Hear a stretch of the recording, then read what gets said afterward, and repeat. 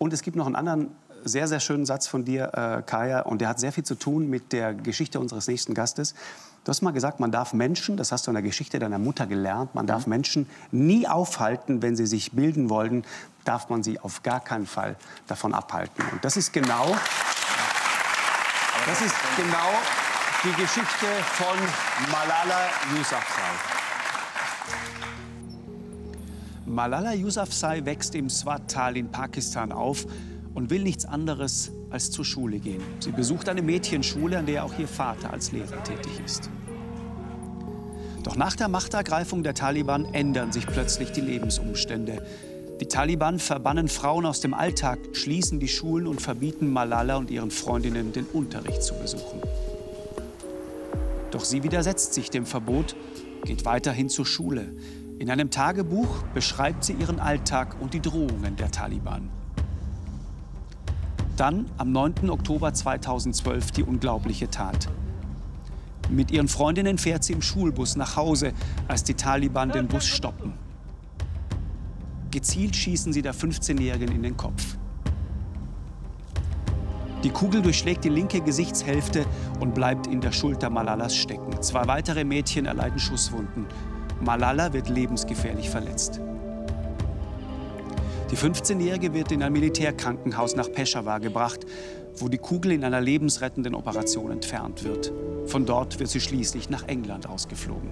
That was a stage, uh, but I'm thankful to God.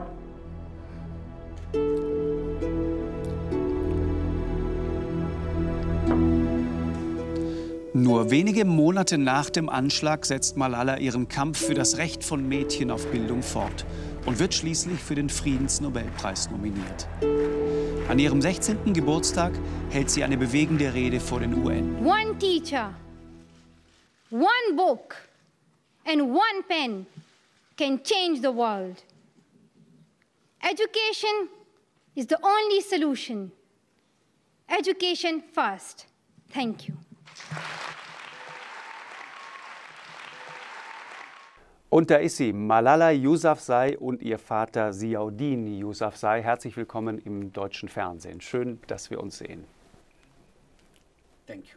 Thank you so much. Malala, zuallererst die Frage, wie geht es dir? Wir haben uns vorher darauf geeinigt, dass wir uns duzen. Ich hoffe, das ist in Ordnung. Wie geht es dir heute, knapp ein Jahr nach diesem unglaublichen Anschlag, den du wie durch ein Wunder, das sagen auch Ärzte, überlebt hast? Ja, vielen herzlichen Dank auch für die Möglichkeit, hier etwas sagen zu können. Die Sache ist, letztes Jahr wurde ich von den Taliban angeschossen, am 9. Oktober. Und heute sitze ich hier. Ich habe überlegt, überlebt, ich habe meinen 16. Geburtstag vor der UN gefeiert. Ich habe dort eine Rede gehalten. Und ich schaue mir an, wie viele Liebe ich bekomme, wie viele Leute für mich beten, wie viel Unterstützung ich bekomme. Und ich danke Gott für diese große Gelegenheit, dass ich hier sprechen kann, dass ich für die Rechte von Mädchen eintreten kann und die Bildung von Mädchen und Frauen. Ich freue mich also sehr. Ich danke Gott und ich danke auch jeder einzelnen Person, die für mich und mein Leben gebetet hat. Jeden Menschen, der meine Sache und den Malala-Fonds unterstützt. Und ich glaube, eines Tages werden wir erfolgreich sein in unserer Mission. Wenn man deine Geschichte zusammenfassen müsste in einem einzigen Satz, äh, dann würde man es wahrscheinlich mit dem folgenden Satz tun, der in deinem Buch auch steht. Ein sehr, sehr lesenswertes Buch, wenn es darum geht zu verstehen, was da passiert ist. Heute genau vor einem Jahr oder morgen genau vor einem Jahr ist ja der Jahrestag. Ähm, aber auch wenn man verstehen möchte, in welcher Situation wir alle selber sind und wie selbstverständlich vieles von dem, was wir so haben, für uns mittlerweile ist. In deinem Fall war es anders. Ein Kind, ein Lehrer, ein Buch und ein Stift können die Welt verändern. Das ist der Satz, der mir am allermeisten hängen geblieben ist. Und genau darüber wollen wir heute reden. Du bist angeschossen worden in einem Schulbus von einem Taliban. Und ich habe gelesen, dass dich die Kugel so getroffen hat, dass sie nur ganz, ganz knapp am Auge vorbeiging, am linken Auge und auch ganz knapp an deinem äh, Gehirn vorbei. Was kann man davon noch sehen? Welche Schäden sind noch da?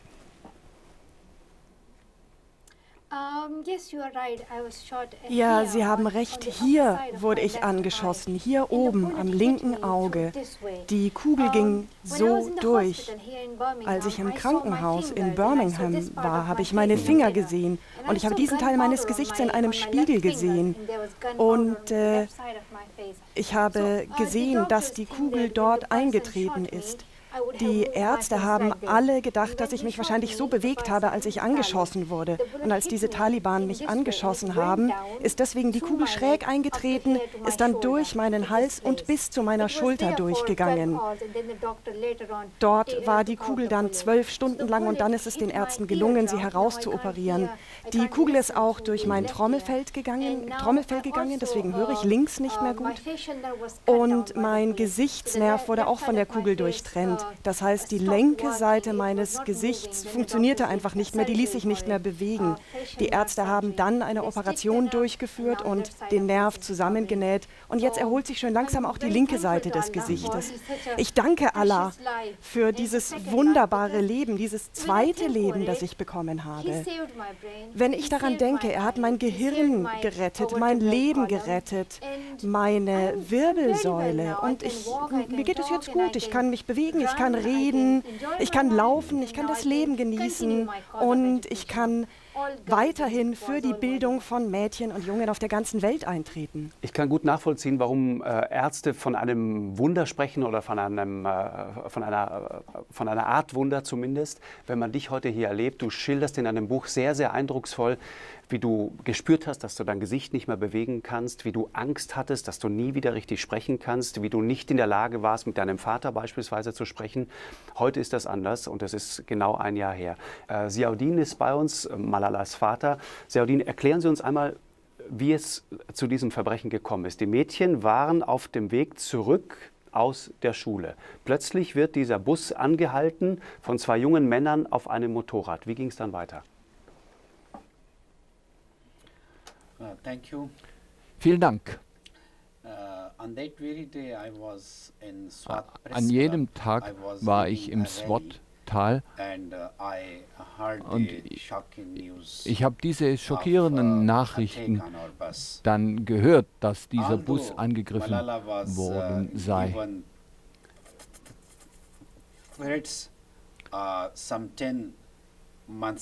Schon zehn Monate zuvor waren Drohungen gegen Malala uh, ausgesprochen worden, aber wir hätten nicht erwartet, dass die Taliban-Terroristen tatsächlich so brutal und barbarisch vorgehen würden und ein unschuldiges Kind angreifen würden. Die Taliban haben 1500 Schulen zerstört in dieser ganzen uh, Gegend, aber sie haben dabei kein einziges Kind verletzt. Wir hatten schon gewisse Ängste, aber wir hatten so etwas nicht uh, erwartet. Und als das passierte, da war das wirklich ein Schock für uns. Sie waren unter dem Radar der Taliban, weil sie sich deren Hass zugezogen hatten. Sie haben etwas gemacht, was in deren Augen ähm, äh, sehr, sehr ungewöhnlich und viel zu fortschrittlich ist. Sie haben äh, Schulen für Mädchen gegründet, haben eine Privatschule eröffnet, in der Malala und andere äh, Mädchen vor allen Dingen zur Schule gingen. Malala beschreibt das in ihrem Buch als eine Art Paradies, wenn man da morgens reinkam und dann den Schulranzen in die Ecke geworfen hat auch seine Verschleierung abgenommen hat. Und plötzlich wart ihr da und konntet euch entwickeln, Spaß haben mit Freunden, diskutieren, habt, äh, habt Redewettbewerbe abgehalten, habt euch bemüht, habt euch mit Henna äh, chemische und physikalische Formeln beispielsweise irgendwo auf eure Arme äh, draufgeschrieben, anstatt äh, lustiger Verzierungen oder ähnliche Dinge. Das heißt, es war eine sehr, sehr ungewöhnliche Situation, da ein mutiger Lehrer, der sich traute, das alles durchzusetzen gegen diese äh, Taliban, die der Meinung waren, dass sich das nicht gehört. Und da eine junge Schülerin, die zum Beispiel auch nicht bereit war, sich zu verschleiern. Warum nicht? Mein Gesicht verbergen oder nicht, das ist mein Recht, meine Entscheidung. Und ich glaube, wenn man sein Gesicht zeigt, dann zeigt man auch seine Gefühle, seinen Charakter. Und im Islam ist das ja nicht verboten. Und ich habe gesagt, wenn Männer ihr Gesicht zeigen können, wenn sie sich frei auf den Straßen von Mingora zum Beispiel bewegen können, überall hingehen können, warum darf ich das nicht? Warum habe ich diese Freiheit nicht? Und ich habe gesagt, es ist mein Recht zu entscheiden, mein Gesicht zu verbergen oder nicht. Und ich habe mich dann entschieden, mein Gesicht nicht zu verbergen, denn das zeigt, ja, das ist Malala. Wenn ich mein Gesicht verberge, dann verberge ich ja alles, mein gesamtes Selbst, dann verstecke ich meine Person. Und ich wollte mich selbst, meine Person nicht verstecken. Ich wollte zeigen, dass ich Malala bin, dass ich meine Gefühle ausdrücken will, dass ich mit meinem Gesicht für Bildungsrecht einstehen möchte. Wir haben ja ein Buch veröffentlicht zum Beispiel, Ich bin Malala. Und als die Taliban gefragt haben, wer ist Malala, konnte ich damals nicht sagen ich, aber jetzt kann ich sagen, ich bin Malala und das Buch wird am 8. Oktober veröffentlicht. Am 10. kommt es dann wirklich auf den Markt und in diesem Buch habe ich meine ganze Geschichte aufgeschrieben, die Geschichte meines Lebens, was in Swat passiert ist. Und das ist nicht nur die Geschichte eines Mädchens, einer Familie, das ist die Geschichte jedes Mädchens in Swat, jedes Mädchens, das dort war und Terrorismus gesehen hat.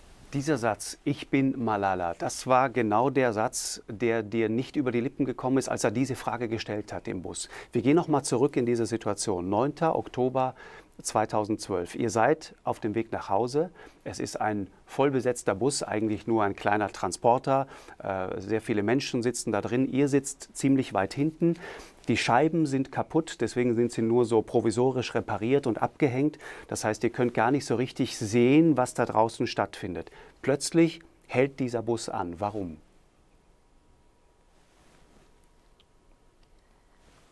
In that street, in dieser Straße standen zwei Männer.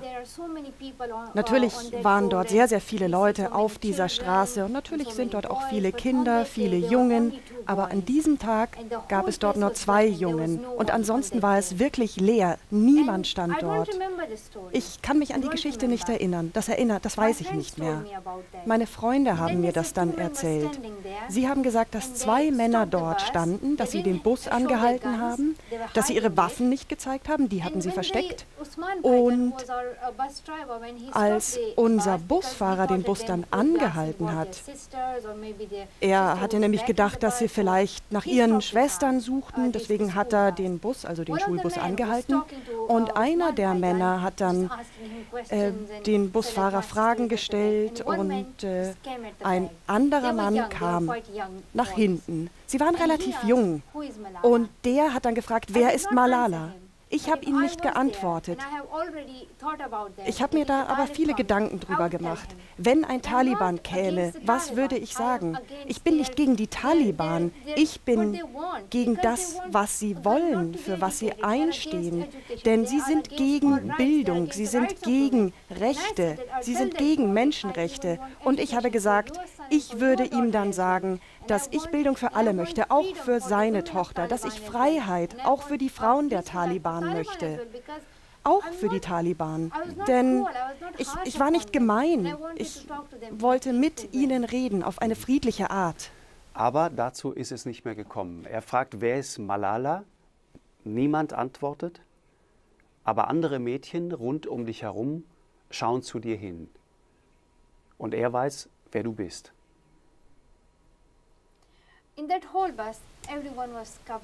In diesem gesamten Bus hatten alle ihre Gesichter verschleiert, außer mir. Und als er gesagt hat, wer ist Malala, uh, habe ich ihn angesehen, so wie ich sie jetzt ansehe. Und alle Mädchen haben angefangen zu schreien. Und ich habe ihn einfach nur angeschaut. Als ich ihn angeschaut habe, hat er sofort gewusst, sie muss Malala sein. Und dann hat er auf mich geschossen. Natürlich haben alle Mädchen sofort wieder angefangen zu schreien. Es war laut, weil keiner wusste, was wir zu erwarten haben. Was würde noch passieren? Das war natürlich für sie schlimm. Stellen Sie sich das mal vor, ein Mann, der auf uns schießt. Und ich bin natürlich zu Boden gefallen. Ich habe sofort das Bewusstsein verloren. Ich bin auf den Boden gefallen. Ich bin tatsächlich in den Schoß meiner besten Freundin gefallen und dann hat er auf die anderen beiden Mädchen geschossen und der ganze Schulbus war voller Blut und mein Kopf blutete natürlich. Also das war ein sehr, sehr schlimmer Moment. Ich habe wirklich Glück, dass ich mich daran nicht erinnere. Das denke ich jetzt. Ich glaube, es ist gut, wenn man schlechte Dinge vergessen kann. Wo waren Sie zu dem Zeitpunkt und wann haben Sie davon erfahren, was da passiert ist?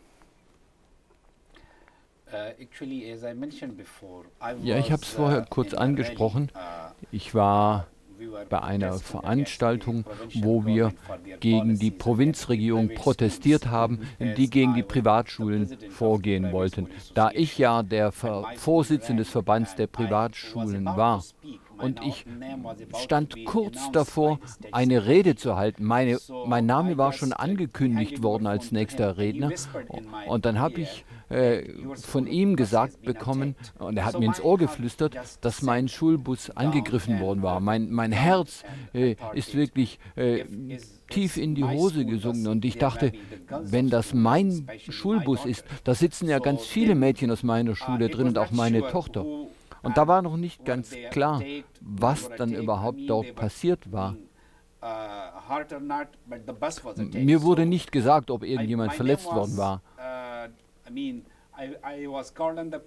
Wie gesagt, also ich wurde als Redner angekündigt. Ich habe fünf oder sechs Minuten lang gesprochen. Dann kam ich zum Ende meiner Rede und ich stand voller Schweiß und ich bin sofort ins Krankenhaus gefahren. Da habe ich dann meine Tochter gesehen, die auf einer Trage lag. Und ich habe sie auf die Stirn geküsst, auf die Wangen, auf die Nase. Und ich habe gesagt, du bist meine Tochter, ich bin so stolz auf dich. Und sie hat mir eine Antwort gegeben, die ich nicht erklären kann und ich kann es auch gar nicht versuchen. Aber sie erinnert sich ebenfalls daran. Es waren viele Leute, die dort waren und äh, da war überall Blut und es war durcheinander. Und ich bin an ihre linke Seite gegangen. Sie hat mich gesehen. Und das war wohl der letzte Moment äh, des Bewusstseins bei ihr. Und da haben wir irgendwie einen Draht miteinander gehabt, bevor sie dann in das äh, Koma gebracht wurde für sechs oder sieben Tage. Ein leidenschaftlicher Appell für die Rechte von Frauen, für die Rechte von Mädchen, die auch zur Schule gehen sollen. Und um das auch besser einordnen zu können, muss man sich einmal in die Lage versetzen, in der Sie damals waren, in, im Swat-Tal, ein wunderschönes Tal im Nordwesten von Pakistan. 2007 begann es, dass die Taliban allmählich die Macht an sich gerissen haben. 2009 gab es dann einen äh, Gegenschlag de, der pakistanischen Armee mit Tausenden von Toten. Ähm, nichtsdestotrotz äh, ist es nicht gelungen, die Macht dieser Menschen dort einzudämmen. 25 Millionen Kinder gehen in Pakistan bis heute nicht in die Schule, sondern äh, werden im Grunde benutzt als Arbeitskräfte, die niemals eine Schule von innen sehen. Frauen äh, die nur in Begleitung auf die Straße dürfen, ähm, die zum Beispiel absurderweise in Begleitung eines fünfjährigen Jungen auf die Straße dürfen, alleine aber seltsamerweise nicht. Ihre Cousine Shahida, die beispielsweise mit neun Jahren verheiratet worden ist. Äh, und du beschreibst das in deinem Buch, wie du irgendwann die Frage gestellt hast, was ist eigentlich mit Shahida passiert, weil sie plötzlich nicht mehr da war. Um, Shahida uh, was Shahida, also ihre Familie, hat sie sehr, sehr früh verheiratet. Und zwar an einen Mann, der schon eine Frau hatte. Der war auch älter. Sie hatte drei Töchter. Und später hat sie gesagt, so ein Leben möchte ich nicht leben, ein Leben ohne Freiheit, denn ich fühle mich wie im Gefängnis. Und dann hat sie gesagt, ich werde zurückgehen, ich werde nicht mit der Familie weiterleben. Und jetzt hat sie zugegeben, wie ihre drei Kinder auch von dem Malala-Fonds ähm, profitieren sollen. Denn das ist ein Fonds für Mädchen im Swat-Tal, die zum Beispiel unter Kinderarbeit leiden. Und Shahidas Tochter mussten das auch tun. Und deswegen wurden sie jetzt aufgenommen in das Projekt des Malala-Fonds. Sie können jetzt lernen, sie können studieren, sie können sich bilden. Deine Cousine Shahida ist verheiratet worden mit einem sehr viel älteren Mann, der bereits verheiratet war, der sich aber eine junge Frau wünschte. Wie alt war deine Cousine, als sie verheiratet worden ist? Uh, sie war neun oder zehn, vielleicht war sie sogar auch elf, als sie verheiratet wurde. Also das war eine Zwangshochzeit. Uh, sie ist keine nahe Cousine, sie ist äh, entfernt mit mir verwandt. Aber das Schlimme daran uh, ist, das Ganze geschieht ja ohne das Ja des Kindes. Das Mädchen wird nicht gefragt, mit Herz und Liebe hat das überhaupt nichts zu tun. Und jetzt ist die Frage, ist das das Recht der Familie, das zu tun? Ich glaube, dass es Freiheit für jeden Menschen geben sollte, insbesondere für Frauen. Sie sollten entscheiden können, was sie machen, die Freiheit haben, sich für ihr Leben zu entscheiden. Also eine sehr archaische Welt und auch das beschreiben Sie in Ihrem Buch. Es ist kein glücklicher Tag, wenn eine Frau in Pakistan ein Mädchen zur Welt bringt. Warum nicht?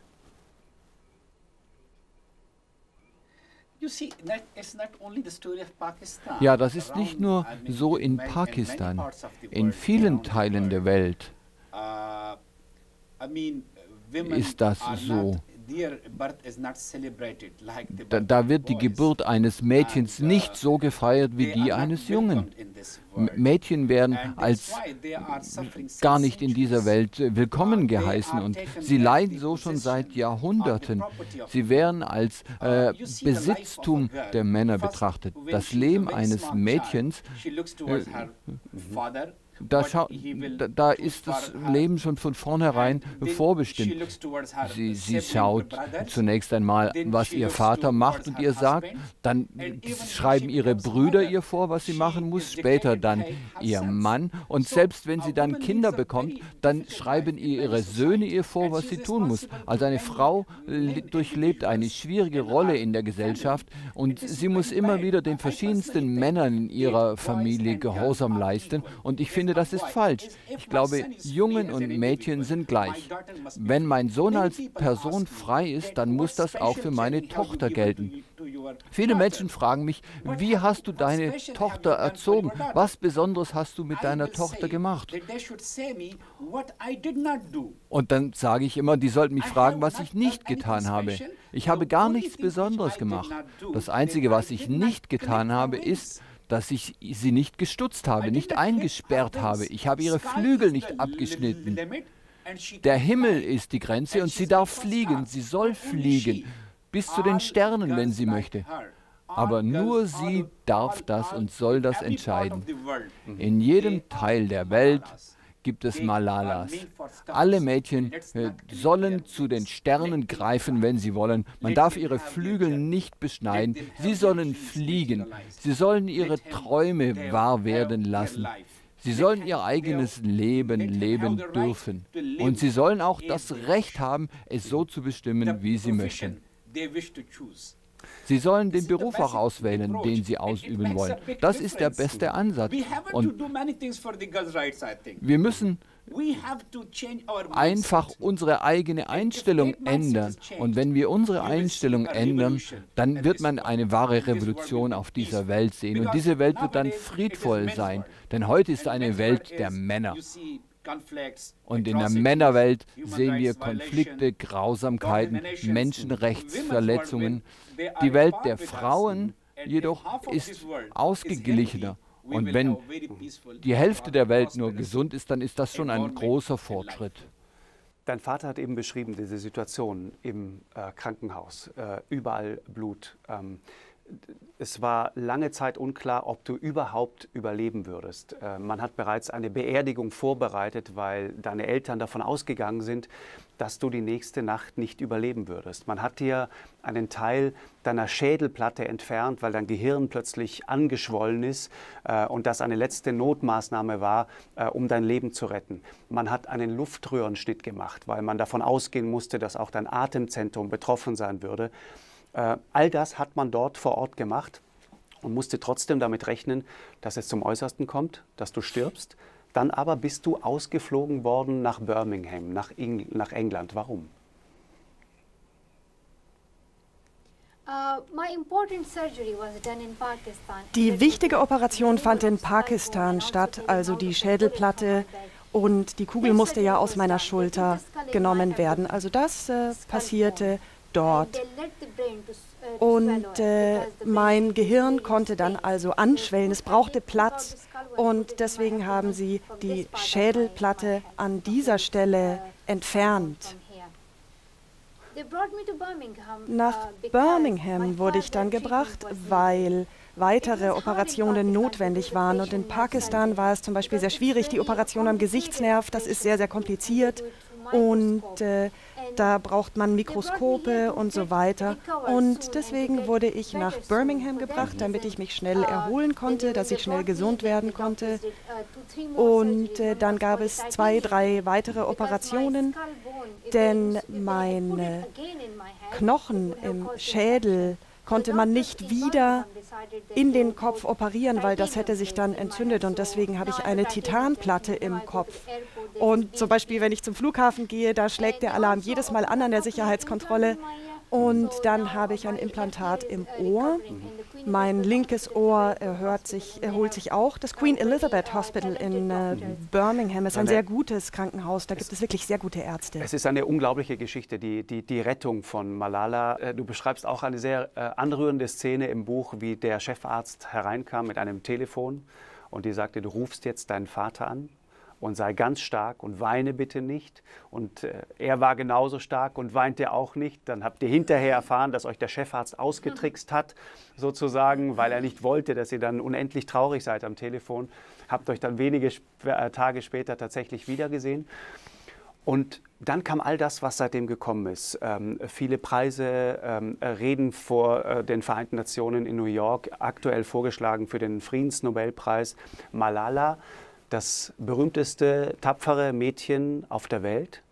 Ähm, jemand, der von der New York äh, Times oder von Times Magazine zur zweitwichtigsten Person des Jahres 2013 gekürt worden ist. Wann hast du realisiert, dass deine Geschichte und auch du plötzlich auf der ganzen Welt bekannt sind? Als ich im Krankenhaus war, wusste ich überhaupt nicht, was draußen passiert. Ich habe gedacht, dass mich irgendjemand angeschossen habe, dass ich auf dem Boden lag und ich dann ins Queen Elizabeth Hospital gebracht wurde. Ich wusste nicht, dass Millionen für mich gebetet haben. Ich wusste gar nicht, wie viel die Medien über mich berichtet hatten. Es gibt natürlich auch eine bestimmte Rolle, die die Medien einnehmen, auch bei der Entwicklung eines Landes. Oder auch wenn es darum geht, ein Thema zu behandeln oder größer zu machen, um den Leuten zu zeigen, was passiert.